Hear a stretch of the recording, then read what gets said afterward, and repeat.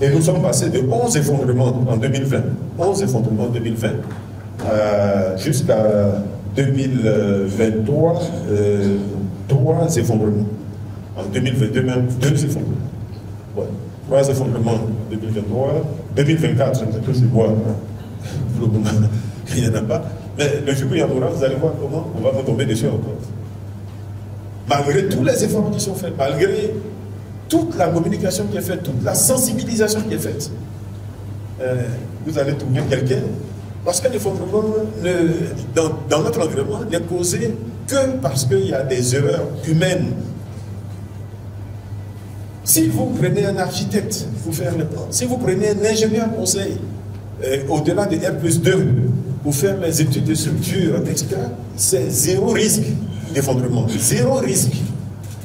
La preuve, la tour euh, F est en train d'être construite. Ça va être 67 étages. Personne aujourd'hui ne, ne, ne, là-bas. Parce qu'on sait que c'est fait dans les règles de l'art. Donc ce n'est pas nos R plus 3, R plus 4 là qui peuvent être le problème. Mais c'est malheureusement là que tous les jours nous avons des